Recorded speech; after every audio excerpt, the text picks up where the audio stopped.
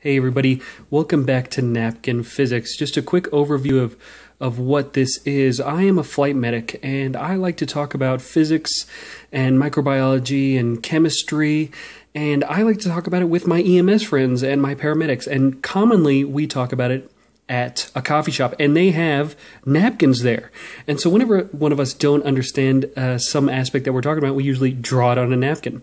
So what I'm attempting to do in this segment or with this series of videos is give people a more in-depth look at how physics can affect your daily practice for EMS and pre hospital professionals, and basically anyone who wants to learn a little bit of physics and associate it with medicine. So that's what this is. Uh, just a quick little business. Uh, it is sponsored by EM Transport Radio, the podcast, and the guys over at Squad 81.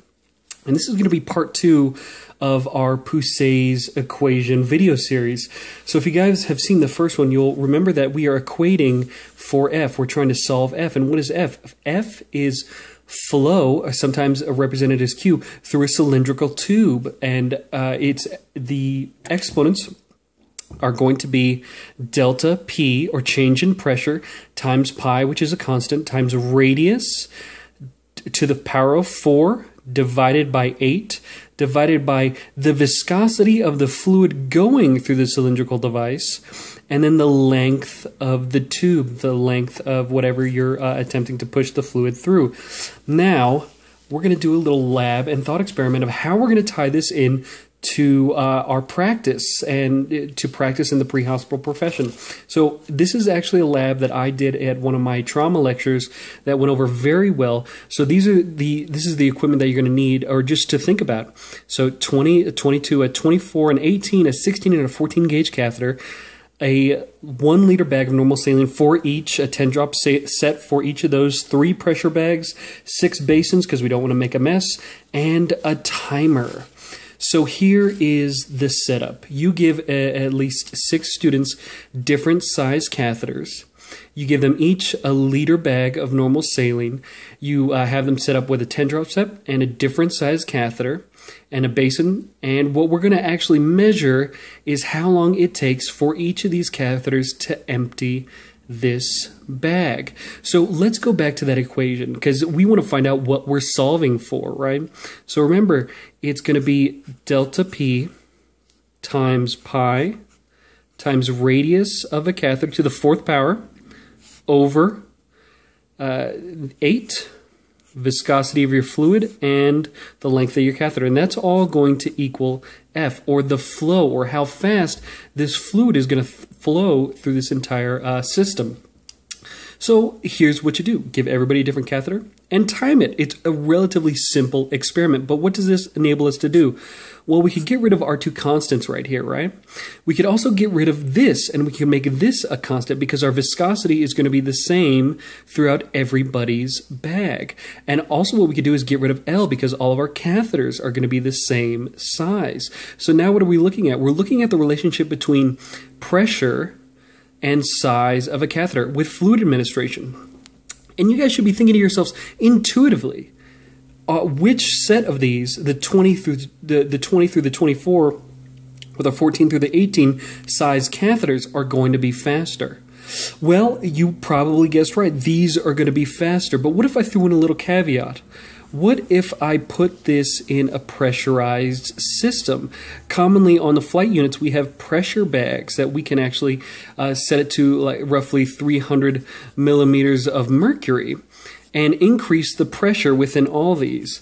Now, that will increase the flow, but will it increase the flow as much as the radius of a catheter?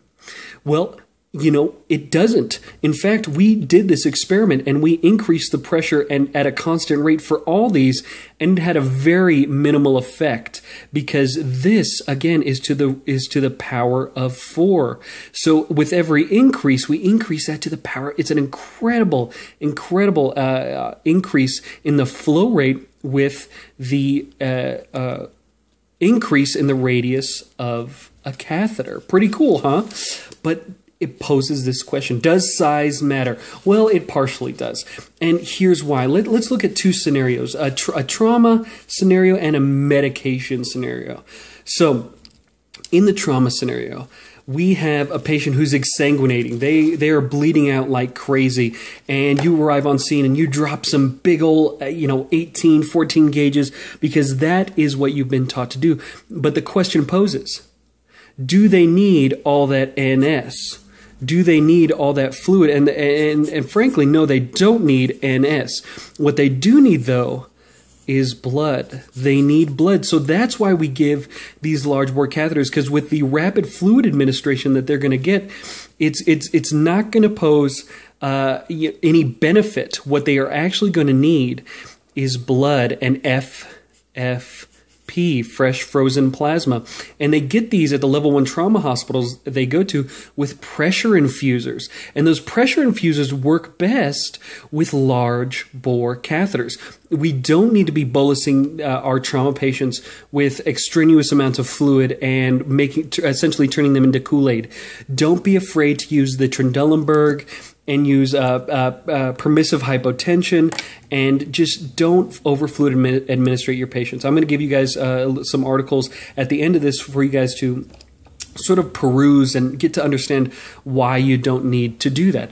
So, uh, here is another question that was actually posed by two uh, incredibly smart uh, practitioners out there in the field.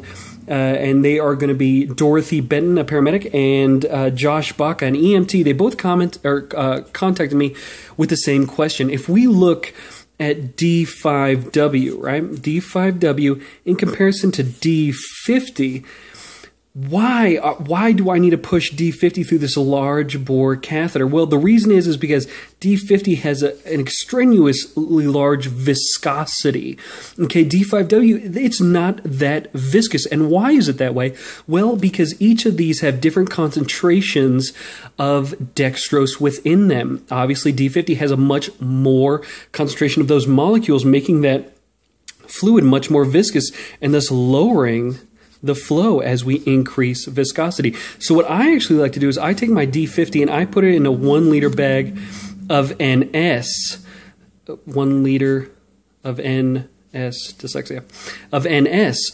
And so what does that do? Well, that actually lowers the viscosity. That lowers the viscosity. It's a more controlled rate and it increases the flow.